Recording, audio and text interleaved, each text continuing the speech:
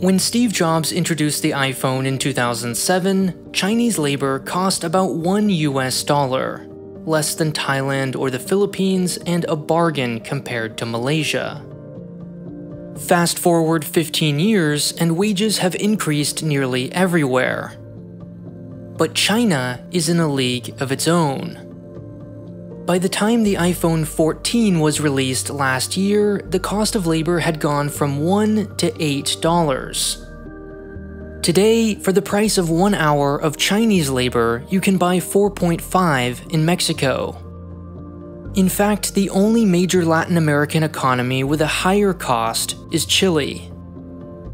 Not only is made in China no longer cheap, globally speaking, you might even say it's expensive. So, what's next for the world's factory? Sponsored by Nebula, the platform created, owned, and loved by creators. Sign up for exclusive, early, and bonus content, and to support Polymatter directly. This is what two decades of cheap t shirts, TVs, and toys looks like. This is Walmart and Amazon and the dollar store.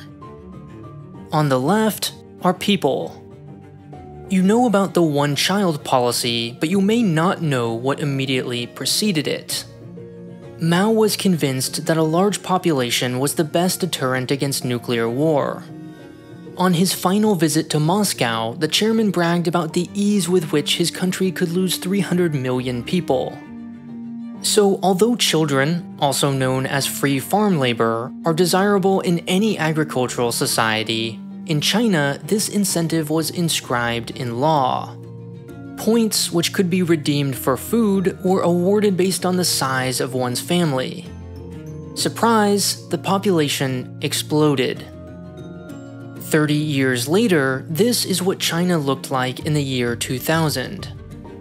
Each rectangle represents an age group, for example, 55 to 59 year olds. Babies are at the bottom and seniors at the top. The longer the rectangle, the larger that group. Let's also add some historical context, the year each age cohort was born over here. These 45 year olds in the year 2000, for instance, were born in 1955. Now, the difference in size between these rectangles may seem fairly minor. But see this minor difference between 25 to 29 year olds and 20 to 24 year olds? That represents 25 million people. As you can see by the large number of 25 to 34 year olds, Mao's strength in numbers baby boom was quite effective. And what's special about 25 to 34 year olds? Well, they're what an economist might classify as young, dumb, and broke. They've recently graduated and they're hungry to start working, even for low pay and with poor conditions. In other words, if you were trying to unleash on the world an endless supply of affordable toasters and cheap t shirts, you could hardly have designed a more perfect demographic structure than early 2000s China. In summary, your cheaply made iPhone 3G was a distant ripple of Mao Zedong's 1960s plan to survive nuclear war.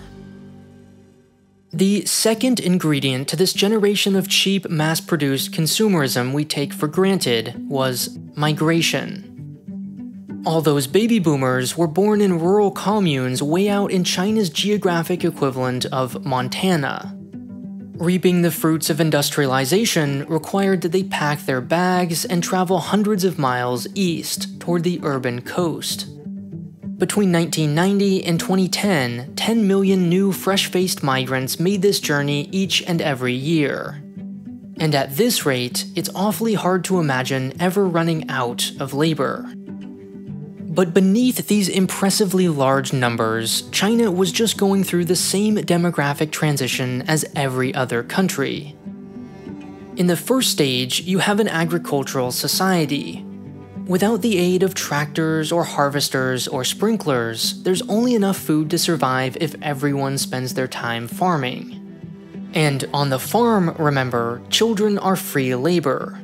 Just don't expect to live very long without modern medicine. Lots of births, lots of deaths. China during the Cultural Revolution. Next, you start building a few rudimentary machines. Nothing fancy, but enough to allow a single farmer to produce rice for, say, 1.1 people. Then something magical happens. Someone else's time is freed up to focus on something like antibiotics. Mortality goes down, but fertility stays high. China in the 70s and 80s. As time goes on, more and more farmers put down their shovels and move to the city. And in the city, children turn from valuable assets to expensive liabilities. Fertility, therefore, starts to fall. Now, for simplicity, imagine just three groups of people kids, adults, and seniors. Because mortality was until recently high, you don't yet have a lot of 80 and 90 year olds. Because fertility was previously high, you now have lots of adults. And because fertility is currently very low, you don't have many kids. This is your country's golden opportunity, what's called a demographic dividend. A few short decades where you have lots of working age adults with few kids or seniors to financially support. If you can put them all to work, you can ride this demographic wave all the way to modernity. And that's exactly what China did. The only difference is that China's demographic dividend happened on an extremely condensed timeline. It ramped up incredibly quickly and is now collapsing all at once. Before Mao died here in 1976, he was actively trying to expand the population as quickly as possible. Naturally, 30 years later, all those baby boomers entered the labor market at the same time. Immediately after Mao died, here, the one child policy made high fertility illegal. So today, the labor market is suddenly shrinking. For the last few decades, only diaper companies have felt this dearth of children. Economically speaking, kids are pretty useless. But today, those kids are no longer kids, and their absence is an absence of labor. Remember those millions of extra 25 to 34 year olds in the year 2000? They're now, on average, 53 and rounding the corner to retirement. What was once a demographic dividend has become a deficit. Needless to say, China today is the youngest it will likely ever be in our lifetimes. If you're currently 20 and live to 90, you can plausibly expect to see its total population decrease by about 40%. The rate of urbanization, likewise, can only go as high as 100%. China is reaching what economists call the Lewis turning point, the total number of Chinese workers peaked back in 2015 and has declined every year but one since. So, where does this leave companies who rely on this disappearing labor? In one of three categories. First, if China is your primary market, you might be inclined to stay. If not, the question is do you require skilled labor? If the answer is no, your company left China a long time ago. There's no reason to pay four times more when you could move to, say, Mexico, especially given its proximity to American consumers. Just 21% of Nike footwear, for example, is still made in China. Finally, by deduction, it's safe to assume that any company that hasn't left cares about more than just cost. It helps that China has 62 million more 20 year olds than Vietnam has people. You can't beat its scale or flexibility. Apple can hire a small country's worth of temporary workers right before the next iPhone is released. Infrastructure is also important. Roads, ports, bridges, Chinese cities roll out the red carpet. After all, the careers of local bureaucrats depended on their ability to attract businesses. Now, these companies have and will diversify, opening a few factories in Vietnam or India, but they won't leave China until they're dragged kicking and screaming. We know they can't easily escape because they just put up with three years of lockdowns, protests, and travel restrictions. Apple used to reserve 50 business class tickets between San Francisco and Shanghai per day. You didn't hear Tim Cook complaining when those flights disappeared for a thousand days. Likewise, although China's labor force is in decline, its consumer market is still large and relatively untapped. Starbucks, Walmart, and McDonald's will continue expanding, not shrinking in the country for the foreseeable future. That's what happens to companies. But what about China, the country? Previously, the large working age population kept the cost of labor down, leading to increased profit. Confident in its continued growth, companies then used that profit to invest back in the country. But as the population begins to decrease, so too does foreign investment.